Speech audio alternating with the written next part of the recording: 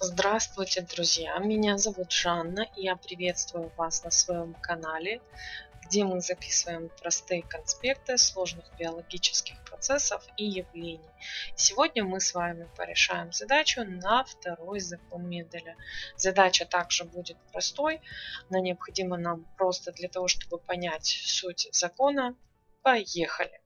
Ребята, по условию задачи нам дано, что Однотонная окраска арбузов наследуется как рецессивный признак, то есть А малая – это однотонная окраска. Соответственно, А большое или доминантный аллель гена – это будет полосатая окраска. Что же нам нужно найти по условию задачи?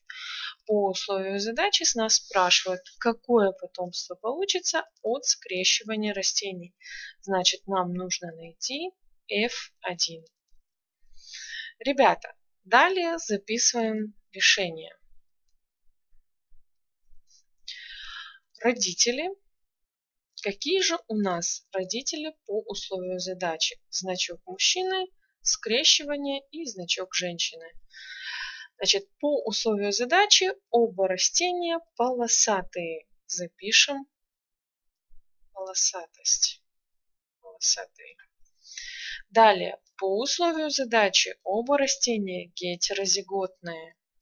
Значит, их генотип А большое, А маленькое. Гетерозиготное растение будет давать нам два типа гамет. Это будет доминантный аллель гена и рецессивный аллель гена, то есть А большое и А маленькое. Далее остается записать F1. Значит, когда мы расставляем стрелочки, старайтесь а, направлять стрелочку так, чтобы сперматозоиды у нас направлялись к яйцеклеткам, а не наоборот. Значит, первое слияние – это организм получится А большое, А большое. Второе слияние – организм А большое, А маленькое. Далее аллель А маленькая отправляется к А большому, но записываем мы все равно доминантный аллель гена спереди.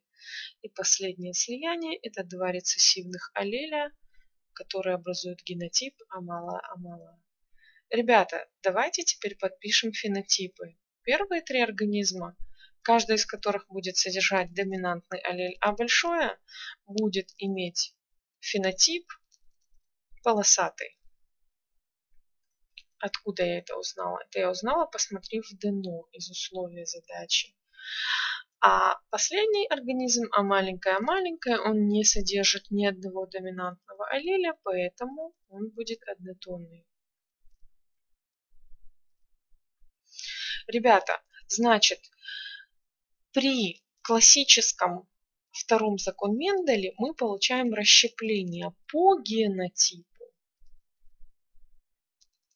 Это будет расщепление 1 к 2 к одному.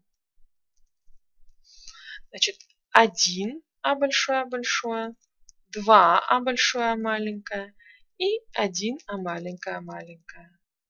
А по фенотипу у нас будет расщепление 3 к 1.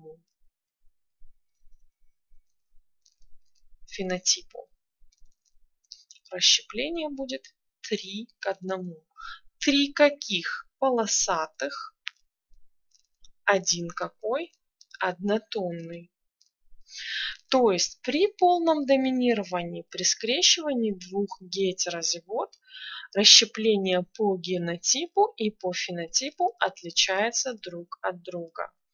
Ребята, если мы вернемся к определению второго закона Менделя, в чем его суть? Второй закон Менделя называется законом расщепления – расщепление, ребятки. Или второй закон Менделя. Да? Что значит расщепление? Расщепление – это значит, когда мы скрещиваем два одинаковых организма, в потомстве мы получаем расщепление. Причем расщепление у нас будет и по генотипу, и по фенотипу. А если же мы смотрим просто на фенотип данной конкретной задаче, то расщепление получилось, мы получили как и полосатые, так и однотонные плоды. Ребята, в этом и заключается суть второго закона Менделя. Ребята, задавайте вопросы в комментариях. Если вам что-то непонятно, пишите свои пожелания, на какую тему вы бы хотели порешать задачи, что вам непонятно в задачах. Подписывайтесь на мой канал и всем удачно сдать экзамены.